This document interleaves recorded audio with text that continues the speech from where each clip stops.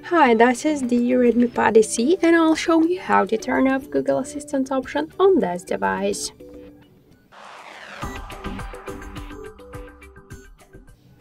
So first we should launch the Google app and then tap on the right upper corner. Go to the settings and here click the Google Assistant section. After that scroll down to the general options and you'll see here Google Assistant switcher. Just to turn off this option click on the switcher and confirm your action by tap to turn off. So that's it, now Google Assistant feature successfully disabled.